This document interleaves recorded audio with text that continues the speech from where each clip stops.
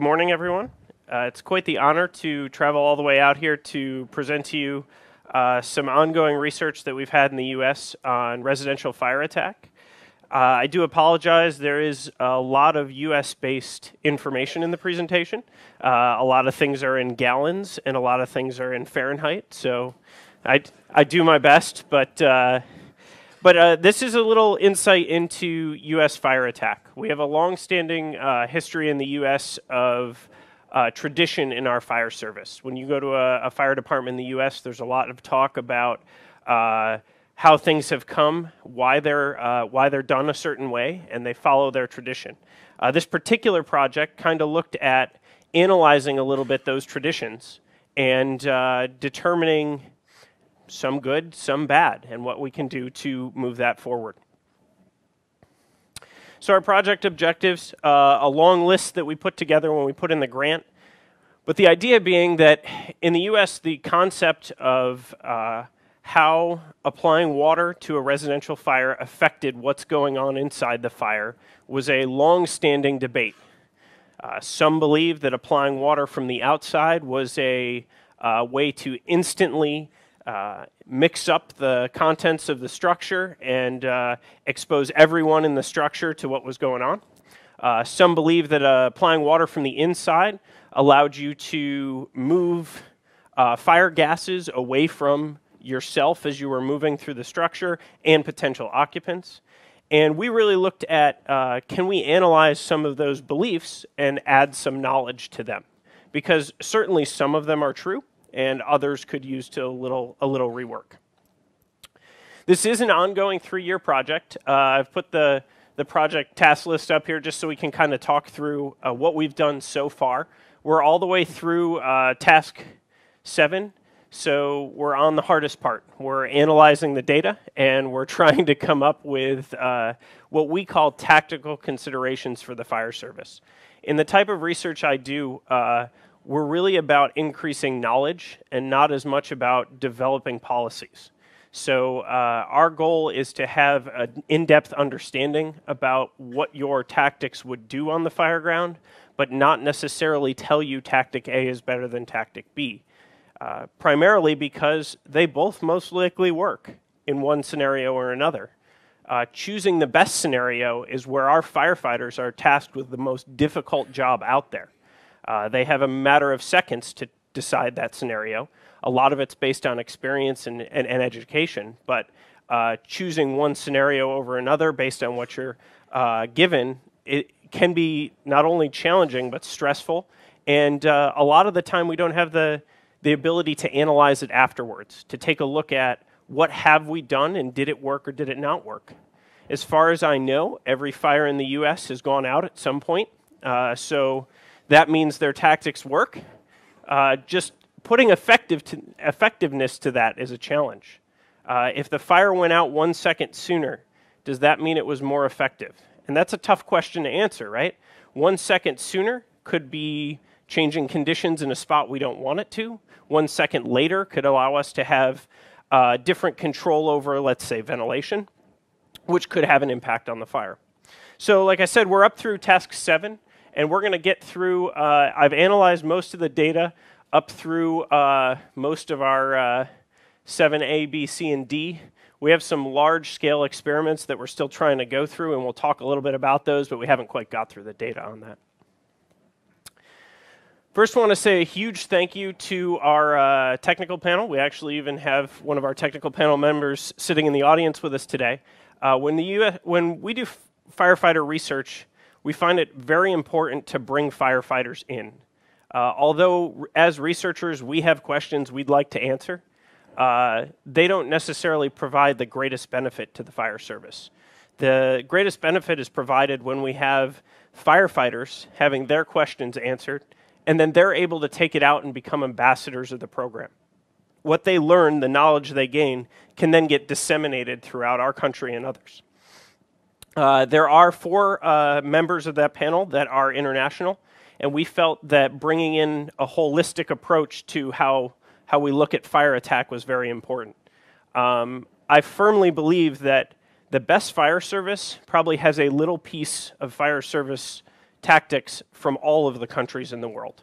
Um, and if you can understand and adapt all of them, then you are most likely going to be one of the better fire departments in the country or in the world.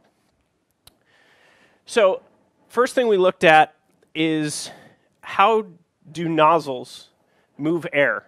And this is interesting because as firefighters, you're not really taught a whole lot about what the nozzle's doing.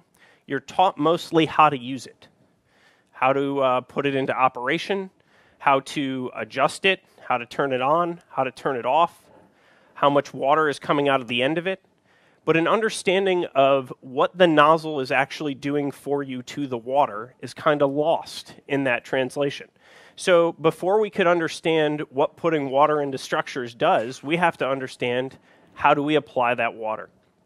So we looked at different nozzle types, different nozzle movements, and nozzle placement. So, do nozzles move air? That's a question. And I have this video up here. And if I happen to be the firefighter that's sitting at the bottom of these stairs, and I saw that event happen, uh, I would most likely need to change my underwear when I went home. Uh, but I'd have a question in my mind what caused that? And in the fire service, there has been times where this type of an action or this type of a, an experience has been um, seen on the fire ground, and the translation between what caused it and what actually happened is sometimes lost. Based on this view, I would truly say I could move water with a nozzle, right? If somebody told me at the moment you saw the fireball come down the stairs, somebody put water in a window from the outside, I would put them together pretty instantly, especially if I was the guy inside. But it's really a matter of perspective. If we zoom out and take a look at what was actually going on, there was a crew with a handline the nozzle was on a wide fog pattern, and they were trying to direct it into the window. But the, wa- the pattern was so wide that almost none of the water made it in the window. But what did make it into the window? The air that the nozzle was moving. And that air was able to push the fire down the stairs. It was able to disrupt the gases and push them down the stairs in this video. So if we look at nozzles and don't include the fact that we're moving air with them, we really don't have a, a, a, holistic view on that fire attack. I could do the same exact thing we see here by just having a pretty stiff wind go in that window. It's the air that's making this movement happen alcohol and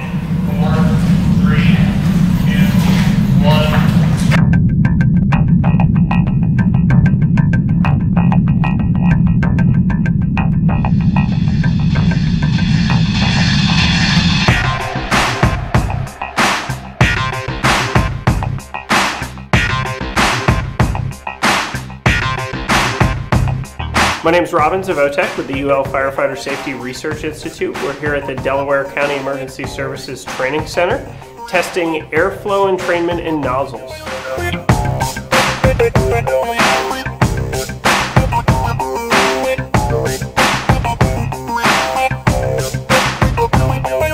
My name is Jerry Knapp. I'm a training officer in Rockland County, New York Fire Training Center. Uh, this nozzle testing that UL is doing is, is very important. Uh, we know house fires are controlled by the amount of air that, that's, uh, that's allowed in the house. Uh, we don't know is what our fire streams are doing to that air entrainment. Are they pushing a lot of air in or what are, what are they doing to the fire? Uh, so this uh, measuring the airflow caused by nozzles uh, will be a major part of learning how we control house fires in the future. Our tests today are looking at how the different nozzle patterns, the different types of nozzles, and the different uh, application techniques are going to move either more or less air.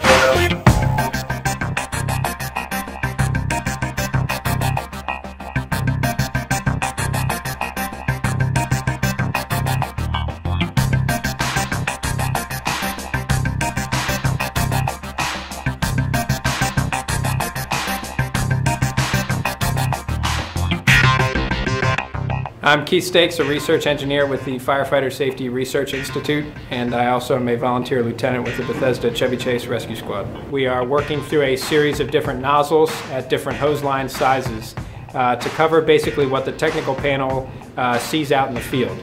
Each department uses a different type of nozzle to flow a different amount of water at a different pressure, and we want to make sure we cover all of those uh, to get the most realistic results as possible. Today we're measuring airflow through the use of bidirectional probes. Our probes are connected to a pressure transducer which takes a pressure signal and changes it into an electrical signal which runs back to our data system. We're using five different probes today at two different ranges to try and determine the total airflow that's moved by the nozzle. My name is Josh Hummel, um, a firefighter with Howard County Fire Rescue in Maryland. As far as the, the experience up here, it's been pretty interesting. These guys are uh, definitely utility players, uh, do uh, a little bit of everything. Uh, some of the data is pretty interesting. We're even finding some, some, some differences between whether it's open environment or when they've been testing moving down the hallway with how much air entrainment's been there.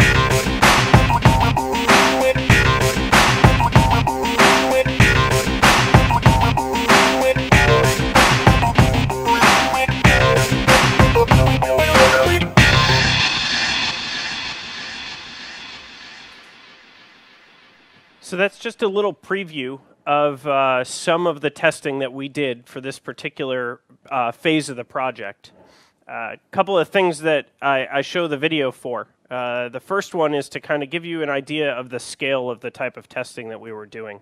Um, we did have a full size building. We were instrument, instrumenting that building. Uh, we were testing as many different nozzle types as we could possibly test from the U.S. Fire Service. Uh, we purchased them all from the manufacturers, uh, looking at different ranges that our technical panel had established to try and uh, kind of bound the problem that we had. Uh, there is probably no less than a couple hundred different type of nozzles in any one area in the U.S. And some people feel stra- strongly about some types and even more strongly about others. So to really understand uh, nozzles and what they're and how much air they're entraining, we had to test all of them. So we ran 64 experiments, and uh, again from the video, you notice that we started off during the daylight and we finished while it was dark outside uh, over several days because this was a challenge in how do you how do you accurately test how much air is moved by a nozzle. Uh, when you're talking about measuring airflow, most of the time uh, you're looking at measuring airflow with a device that can't get wet, is sensitive to temperature, and is sensitive to, sensitive to any mechanical movement. So if you take water coming out of a nozzle and you hit that device with it, it essentially ruins the device along with all of the measurements that you were trying to take. So this became a huge challenge. We looked at different types of measurement techniques that we could use. Uh, things such as uh, hot wire anemometers, but of course, if we cooled off the hot wire anemometer with any type of moisture, that would make the signal poor. Uh, we looked at using some sort of velocity matrices that were sampling at different points, and uh, what we realized when using those is there was so much turbulence in our flow that was a that didn't quite do it for us. So we came up and uh, we came up with a, a concept that uh, allowed us to measure not necessarily the airflow in front of the nozzle, but the air that the nozzle was moving behind us. Because that way we could use the concept of pressure to determine how much air it was moving. So in the upper, upper right here, we have a picture of our structure. This is a two story uh, concrete base with a uh, wood frame structure above it. And uh, all of this testing was done outside, adding a further complication of wind. So if we took and we instrumented a door on the upper half of the structure, we had two openings, both facing the same direction. That's important because then wind is taken out of the play. Because if the wind is even going directly at this opening, it's going to balance out between the top and the bottom, and it's not going to cause any air movement from the, from the door there. We float our, our nozzle outside the opening, essentially using the concept that as much air as was flowing out this opening here on the bottom was going to flow in through the top. We allowed all of the turbulence to kind of get moved out through this wide space here, and we measured the amount of air that was actually flowing in behind us with the nozzle. as we think about how nozzles entrain air, there's a couple of items that are really, really important. And the one that was the hardest to control is actually the length of the water stream. Because the further that water travels, the more chance it has to impact and entrain air into its stream. So if our nozzle, if we were to position our nozzle as far back in the space as possible and it didn't quite reach out the opening, uh, that nozzle would look poor compared to a nozzle that made it through the opening. So we had to take a lot of time to look at the difference between the distance, uh, the distance between the nozzle and that opening. So we go ahead and we started to flow all our nozzles out that opening. But then we thought to ourselves, well, that's not very representative of the fire service, right? I mean, how often are they flowing a nozzle just out a window? So we started, or out a doorway. So we looked at how can we uh, adjust the structure. We ended up using a set of double doors on top. We would use a single door on top. We looked at using double doors on the bottom. We put a window in that uh, opening. We put a window in the top opening. Just trying to have a good idea about how we're moving air with these nozzles. So after 64 tests, uh, flowing each nozzle in each configuration for a minute and averaging out the data, we came up with a whole bunch of uh, disparative points that we were trying to uh, lumped together. And this slide pretty much does the best job of putting together what we currently know about how we're moving air with nozzles. Uh, in the US, there are two main types. There is a smoothbore nozzle, which is a, a cone or a, uh, a, solid stream of water, and then there is an automatic nozzle, which can be adjusted from a fog pattern down to a, a straight pattern.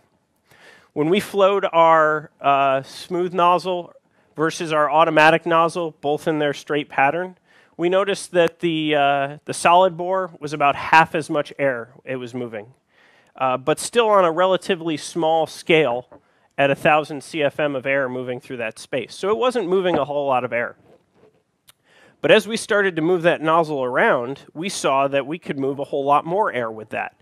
So we have a couple of patterns that are pretty prevalent in the U.S. Fire Service, and there are very uh, there are people that are very adamant about their patterns. If you, uh, if you were taught to flow the nozzle in a pattern that represents a Z, you teach everyone that you know that that is the only way to do it, and if you do it any other way, it'll do something wrong.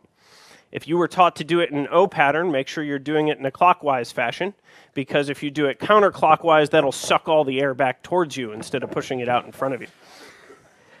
And if you don't wet the walls, then the fire can grow back and come back towards you. So some use what they call an inverted U, but it's actually a lowercase n in the English language, just kind of sweeping your nozzle up and across the different spaces.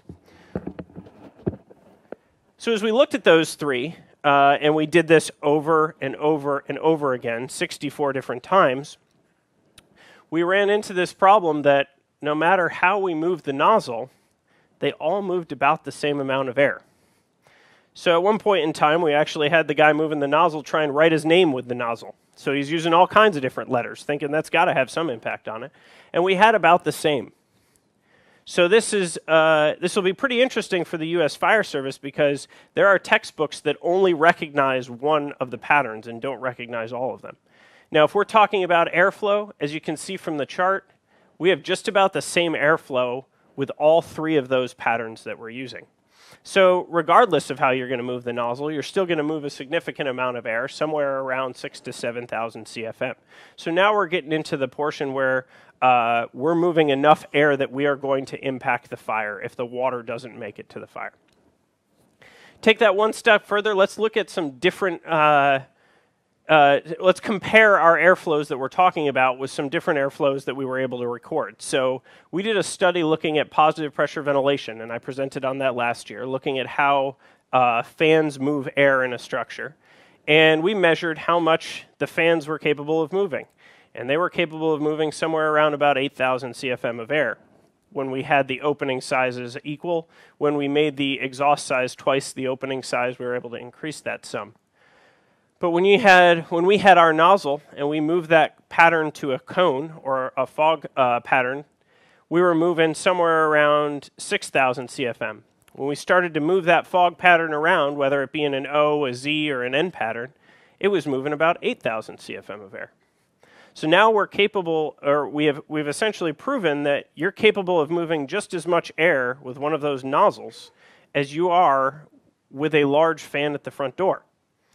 So now, if we won't put a fan at the front door because it'll make the fire grow larger, then maybe we shouldn't be using that particular nozzle pattern. But if we do put a, a fan there because it will affect how the ventilation works in the structure, maybe if the fan doesn't work, the nozzle on the same pattern can produce the same results. So this kind of summarizes a little bit of what we talked or what we looked into. There are thousands of more data points that we're going to pull out of these, trying to look at the difference between manufacturers, the difference between some uh, styles of how the, the nozzles break up the, the patterns. But uh, for the most part, the biggest takeaway for us is no matter how you move your nozzle, you're going to move some air. And if you move your nozzle the right way, you can move a whole lot of air.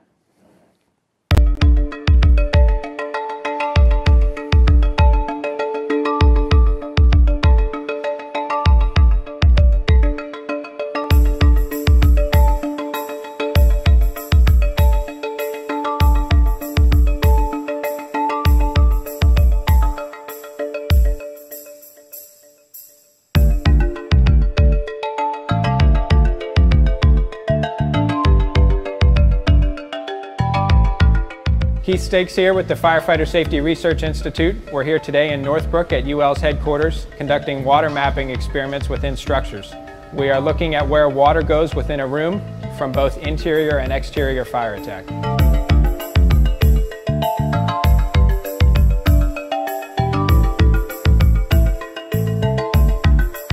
Firefighters across the country apply water into structures very differently using different nozzle techniques, different applications, and different patterns. We were able to study over 80 experiments to try and determine how those different techniques affect how water is distributed inside a room.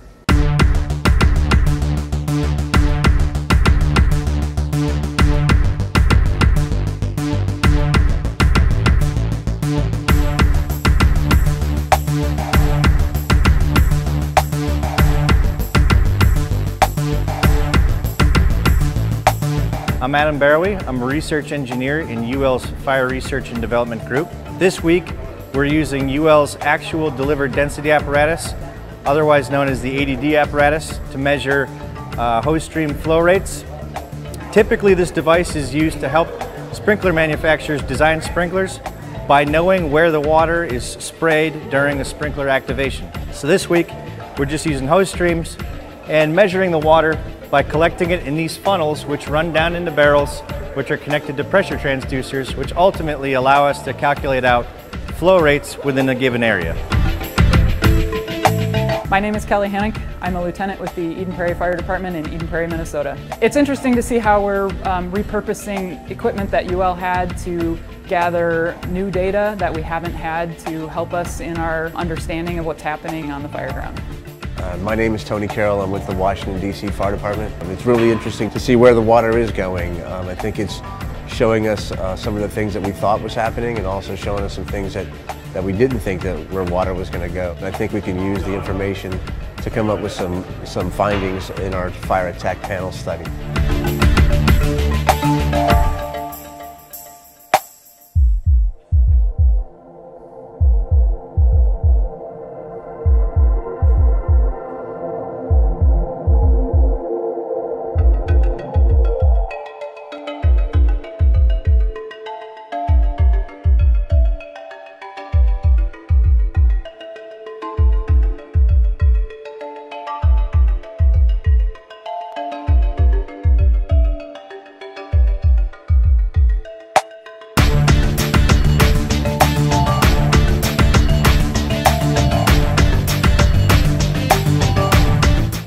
Modern fire research has really impacted our department uh, as well as fire service across the country when it comes to how we do our jobs every day.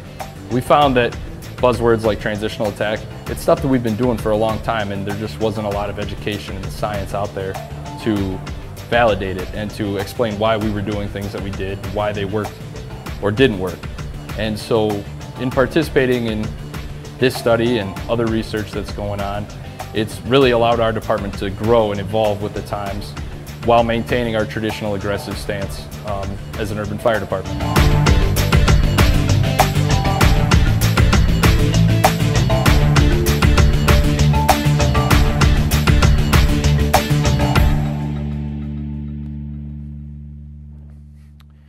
So if we first look at how uh, nozzles move air, the next question is, where is the water going?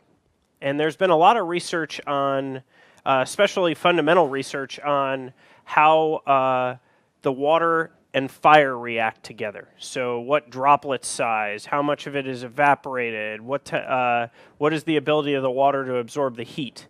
But uh, we wanted to take a step back and say, you know, where is the water in the compartment when it comes out of the nozzle? And a lot of the times in the fire service, especially in my time, uh, I can't see where the water is going. There is enough smoke between me and where the water is going that I have no idea what it's hitting once I spray.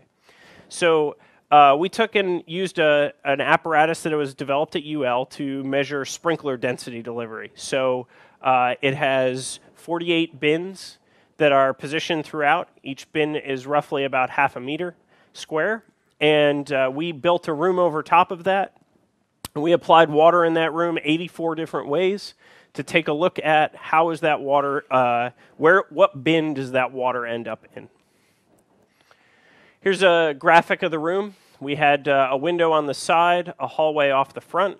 The idea being here we have three different methods for applying water. We have either a second floor fire where we're applying through the window. We have a uh, first floor fire where we can be up on our platform and apply through the window.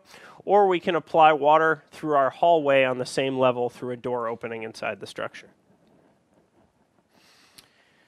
So this was really a, a, point to look at the difference between interior and exterior streams. But as we took a, uh, a harder look at how the results came out, it turned out it was really identifying where water goes, regardless of if you're on the inside or the outside of the structure. Because you want to best use that water, and how to best use that water needs to be able to distribute it properly in the room. These are charts of how, uh, how it turned out for our data here, and we're looking at each one of these bins being one of the bars on the graph. Uh, we are in gallons of water, but uh, you can just kind of get a representation of about how much water is going to each spot. And whether we applied the water from the outside through the window or the inside through the door, if we applied it off the ceiling at a fairly steep angle, by looking at these, you can see just about the same amount of water is going in the same places regardless of where you're applying it from. This was revolutionary to the U.S. Fire Service because uh, this is physics. So if there's an angle and a trajectory, you're going to get the same result regardless, uh, as long as that angle and trajectory were the same. So our water was coming in through our window and one of the challenges that we noticed in the U.S. Fire Service was how do we get water to the center of this room? That water is moving with such velocity that as it hits the ceiling, it actually sticks to the ceiling. The viscosity of the water causes it to ride along the ceiling and eventually falls off when the momentum drops off. But as it's falling off, it's really hitting the walls and it's kind of running down the walls and then it's getting collected in the bins on the outside of the room. But it's not necessarily getting into the middle of the room. So we took a, a look at some uh, different ways to apply, thinking how can we get more coverage in the room.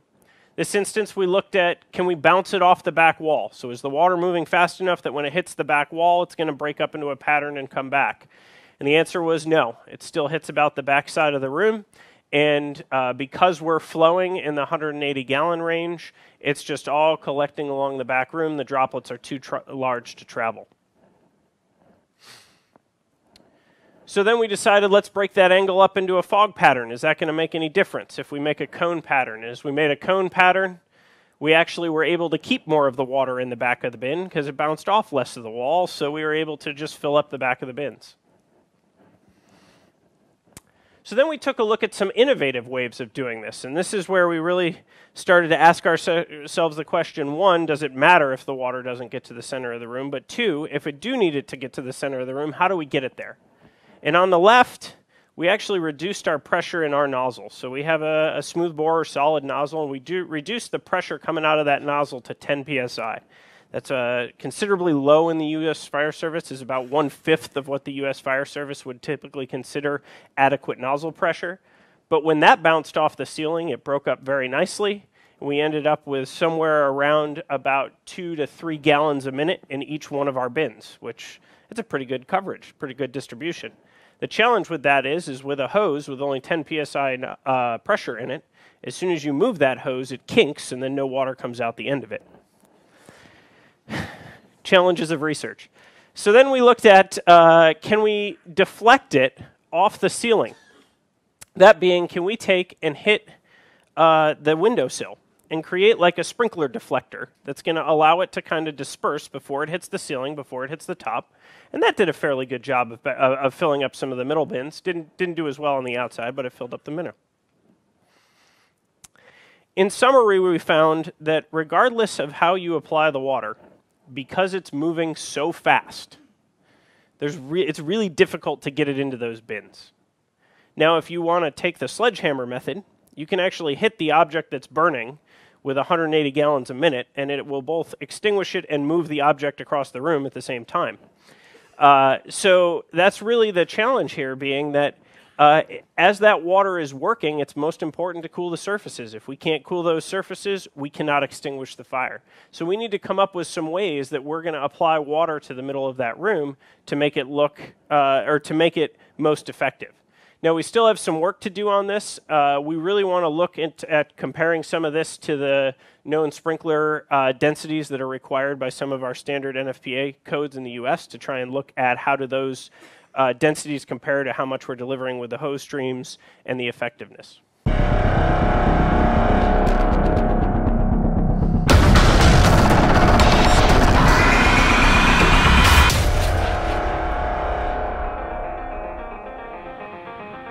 We're here in Northbrook, Illinois at UL's Large Fire Lab conducting our full-scale fire experiments for the fire attack study. This project centers around interior and transitional fire attack, looking at victim survivability in residential structure fires. Feeling good? Excited? All right. You're in one of the largest fire labs in the world. So what we have behind me is two 1,600 square foot houses that are meant to simulate the average of what you would have in the United States. And we're studying how firefighters fight fire. What we do is we sensor these buildings to make 250 readings in each one of these buildings to understand what is the actual best way to fight a fire.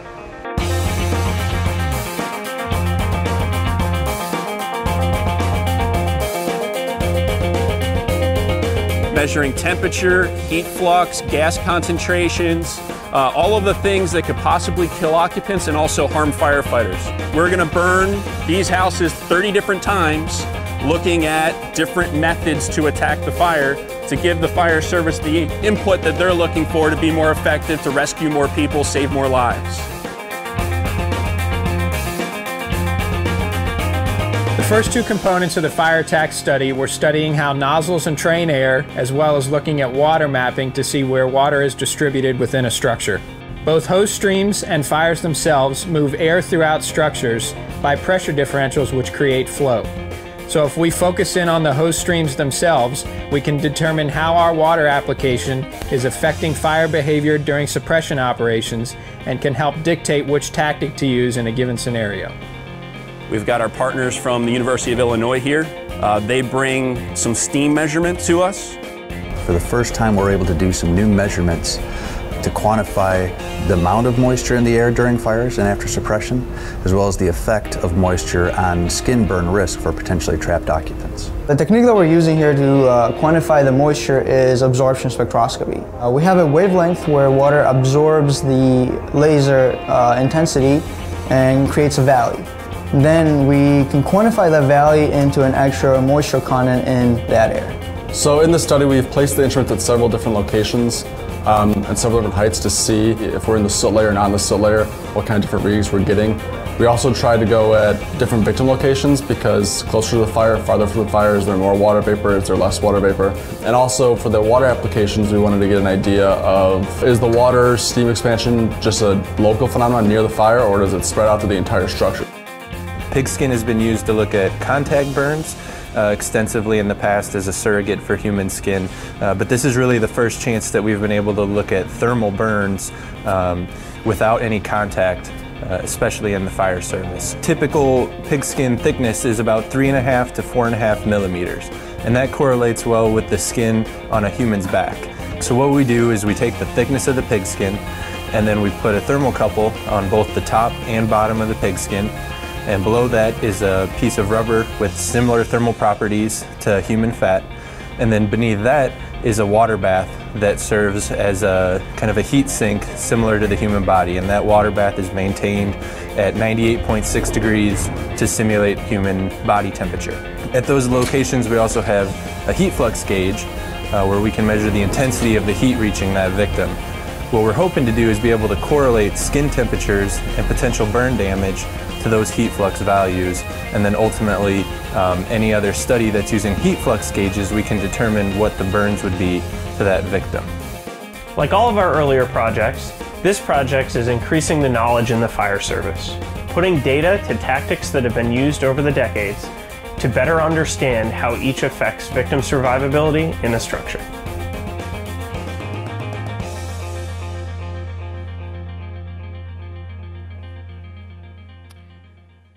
So that's a little preview of the next phase, which was we're looking at full-scale structures. All right, so uh, we construct two full-scale houses in our lab. They had uh, four um, there were two identical 1,600 square foot houses, and we're looking at uh, measuring all of the temperature, pressure, gas velocity, heat flux, and oxygen concentration. Uh, we had about 240 sensors in each one of the houses, miles of cable, and, and hours of setup. Really looking at how do uh, the difference between interior and exterior fire attack, uh, or what are the differences between interior and exterior fire attack. So here's a, an example of an exterior fire attack. And we have uh, fire coming out of one of our windows here. We have our firefighter applying water to the window. At the same time that he's applying the window, we have a firefighter controlling the ventilation at the front door, waiting for the water application to stop. Once that water has made an impact, firefighter is going to open the door and head in and do the interior attack.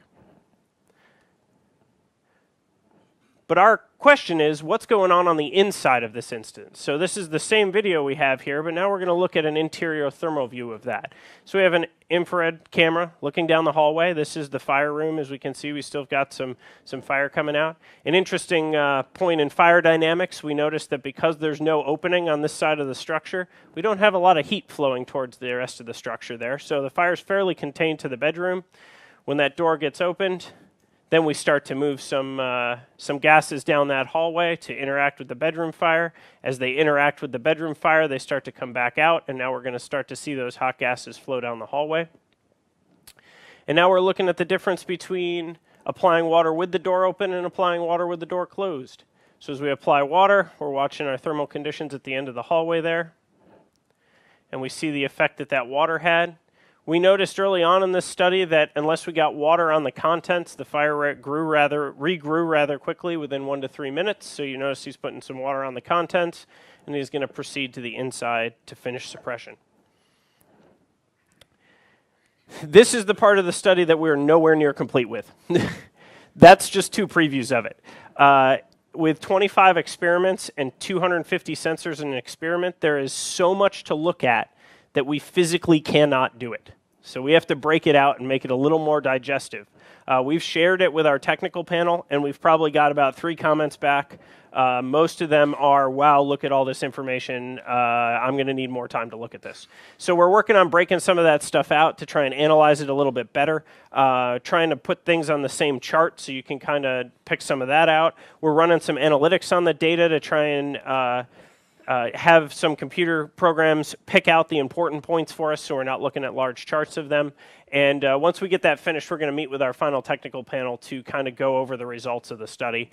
And uh, we're looking at this being complete sometime uh, probably like December of next year. We've still got about a full year on our grant to complete that. So uh, just wanted to kind of give you a preview of that. We saw, you know, uh, we saw some great results in our air entrainment. We saw some great results in our water flow, and now we're going to put that all together in this uh, this full study here and try and look at uh, how does that fire attack really uh, impact what's going on inside.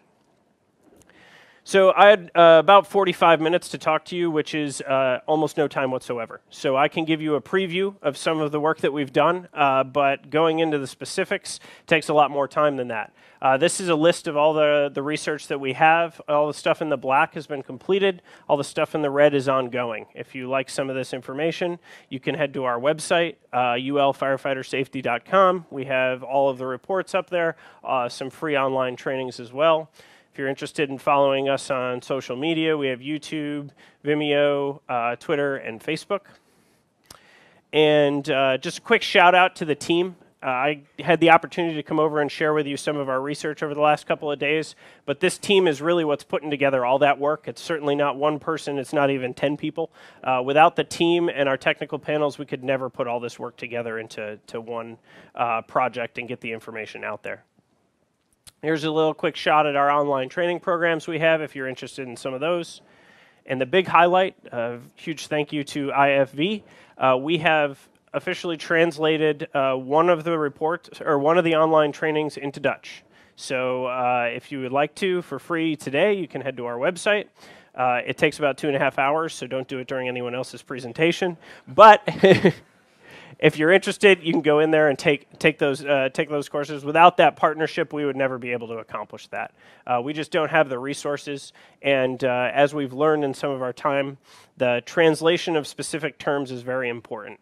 Uh, you cannot have a non-firefighter translate firefighter material, or we come out with some results that are quite interesting to read. So, uh, special thanks to them on that. And with that, I'm just about on my time, but we'll see if we have uh, any questions.